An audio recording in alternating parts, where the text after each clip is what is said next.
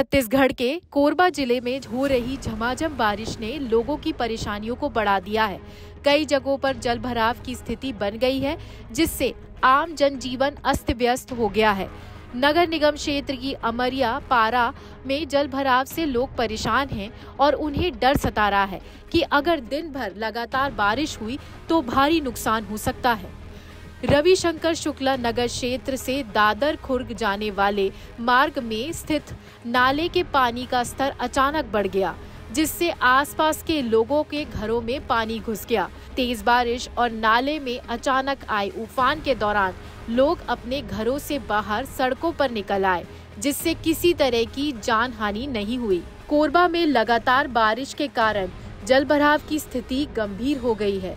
अमरियापारा और दादर खुर्द जैसे इलाकों में लोगों को भारी समस्याओं का सामना करना पड़ रहा है।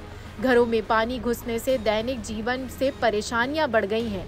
लोग अपने सामान को सुरक्षित स्थान पर रखने और पानी से बचने के लिए संघर्ष कर रहे हैं। प्रशासन ने जल भराव की समस्या को ध्यान में रखते हुए राहत कार्य शुरू कर दिए हैं, लेकिन लगातार हो रही बारिश के कारण स्थिति काबू में नहीं आ पा रही है। लोगों को सलाह दी गई है कि वे सतर्क रहे और आवश्यक सावधानियाँ बरतें। छत्तीसगढ़ के कोरबा में झमाझम बारिश ने जनजीवन को मुश्किल में डाल दिया है। अगर आप इस क्षेत्र में हैं तो सुरक्षित रहें और प्रशासन के निर्देशों का पालन करें। लोकल 18 के लिए कोरबा से अनूप पासवान की रिपोर्ट।